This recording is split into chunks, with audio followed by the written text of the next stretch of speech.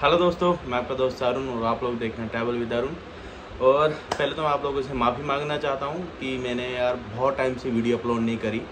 तो actually time ही नहीं मिल रहा। हाँ वीज़ास मैं ज़रूर कम्युनिटी बॉक्स में अपलोड कर रहा हूँ डेली बेस पे यूट्यूब के ऊपर भी और इंस्टाग्राम के ऊपर भी, है ना?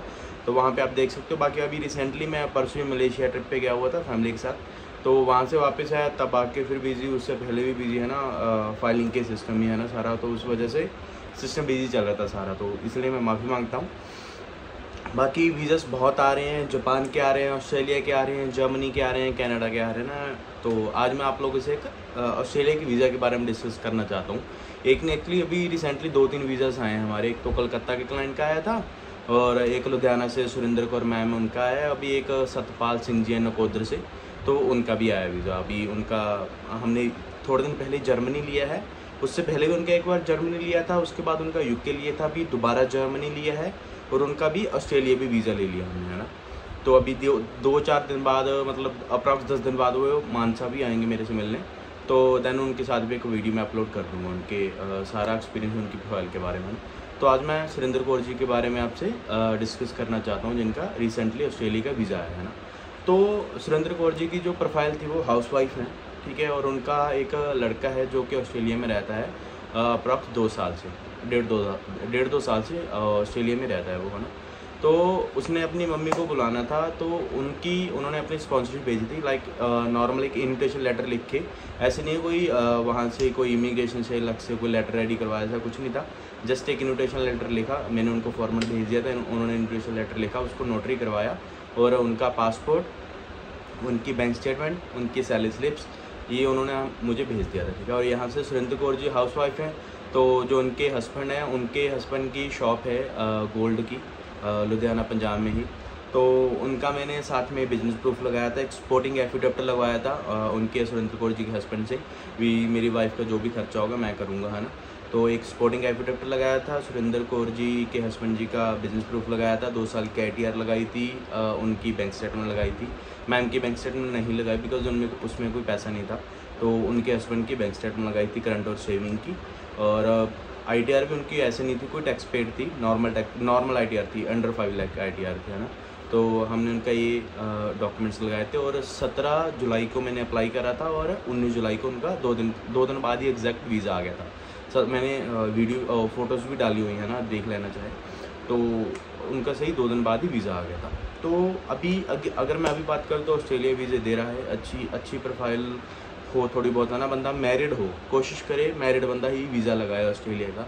मैरिड हो, ठीक है, और एक आधा अगर बच्चा है तो ठीक है। अगर अदरवाइज़ मैरिड ज़रूरी है ना मैरिड हो, और साथ में सी एयरपोर्ट लगाना मत भूलें प्रॉपर्टी वैल्यूशन लगाना मत भूलें। ठीक है, अपना दो साल का आई लगाएँ। अपना बिज़नेस प्रूफ लगाए अगर जॉब करते हो जॉब के डॉक्यूमेंट्स लगाओ एनओसी और सैलरी स्लिप्स लगाओ अपनी, और ज्वाइनिंग लेटर भी साथ में ज़रूर लगाएँ।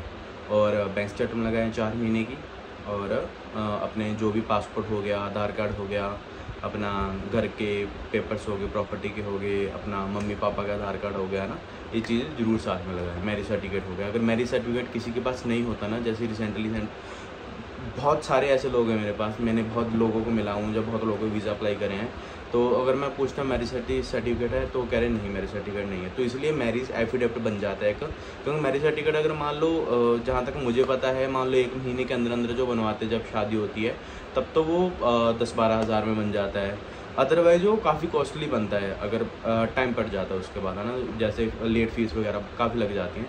तो इसलिए अगर आपके पास नहीं है वो तो आप मैरिज एफिडेविट बनवा कर लगा सकते हो वो वो सौ दो सौ रुपये में बन जाता है कि में जो बैठे होते हैं ना नोटरी करते हैं डॉक्यूमेंट्स करते हैं तो वो बना देते हैं ठीक है तो आप उनसे वो बनाकर साथ में वो लगा सकते हो एज अ मैरिज प्रूफ अपना है ना और बाकी बाकी यार मैं हूँ दुआ पंजाबी ਚ ਹੋਣ ਲੱਗੇ ਹਾਂ ਸੋ ਸਾਰਿਆਂ ਨੂੰ ਵੱਡੀ ਗੱਲ ਹੈ ਘਬਰਾਉਣ ਦੀ ਜ਼ਰੂਰਤ ਨਹੀਂ ਹੈ ਕਿ ਜੋ ਵੀਜ਼ਾ ਆਇਆ ਨਾ ਸੀਰੀਅਸਲੀ ਬਹੁਤ ਸੌਖੇ ਨੇ ਲੈਣੇ ਬਹੁਤ ਬਹੁਤ ਆਸਾਨ ਨੇ ਆਪਣਾ ਉਹੀ ਨਾ ਕਿਸੇ ਨੂੰ ਕਹੋ ਯਾਰ ਆਫਟਰ ਵੀਜ਼ਾ ਸਾਡੇ ਤੋਂ 5 ਲੱਖ ਲੈ ਲਈ, ਸਾਡੇ ਤੋਂ 10 ਲੱਖ ਲੈ ਲਈ ਇਦਾਂ ਦਾ ਕੋਈ ਗੇਮ ਨਹੀਂ ਹੈਗੀ ਵੀਜ਼ੇ ਵਾਲੀ, ਠੀਕ ਹੈ?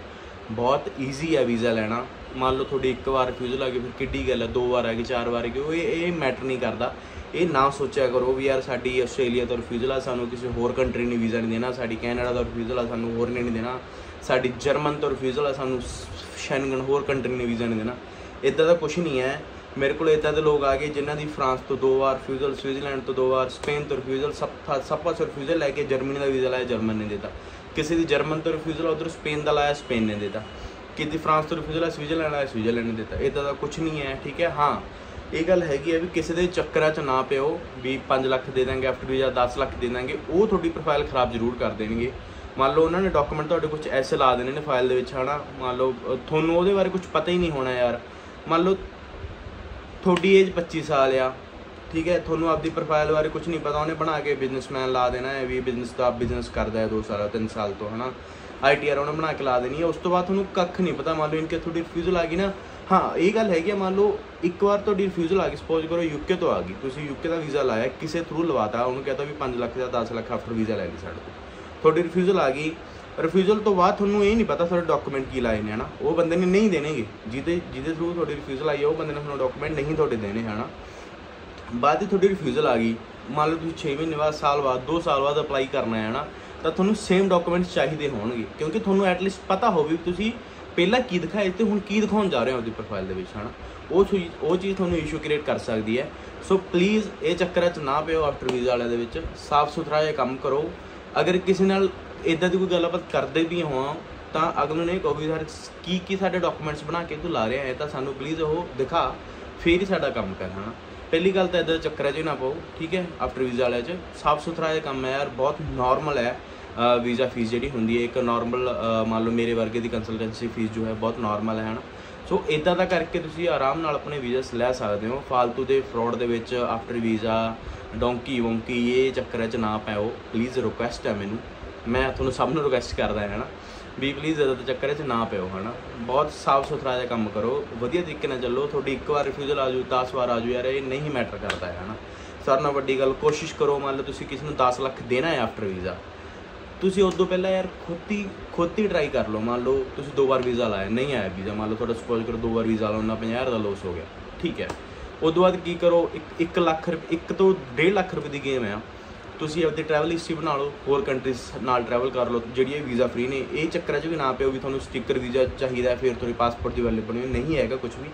ਕੋਸ਼ਿਸ਼ ਕਰੋ ਥਾਈਲੈਂਡ ਟਰੈਵਲ ਕਰ ਲਓ ਮਲੇਸ਼ੀਆ ਕਰ ਲਓ ਸਿੰਗਾਪੁਰ ਕਰ ਲਓ ਕਜ਼ਾਕਿਸਤਾਨ ਹੋ ਗਿਆ ਉਜ਼ਬੇਕਿਸਤਾਨ ਹੋ ਗਿਆ ਰਸ਼ੀਆ ਹੋ ਗਿਆ ਠੀਕ ਹੈ ਚਾਈਨਾ ਹੋ ਗਿਆ। ਇਹ ਇਹ ਕੰਟਰੀਜ਼ ਨਾਰਮਲ ਵੀਜ਼ਾ ਦੇ ਦਿੰਦੀਆਂ ਨੇ। ਸੋ ਇਹਨਾਂ ਕੰਟਰੀਜ਼ ਦੇ ਵਿੱਚ ਅਜ਼ਰਬਾਈਜਨ ਹੋ ਗਿਆ ਦੁਬਈ ਹੋ ਗਿਆ ਇਹਨਾਂ ਕੰਟਰੀ ਦੇ ਵਿੱਚ ਵਿਜ਼ਿਟ ਕਰ ਲਓ। ਇਹਦੇ ਨਾਲ ਤੁਹਾਡੀ ਪ੍ਰੋਫਾਈਲ ਬਣ ਜਾਣੀ ਹੈ। ਨੇਪਾਲ ਕਰ ਲਓ ਬੰਗਲਾਦੇਸ਼ ਕਰ ਲਓ ਠੀਕ ਹੈ।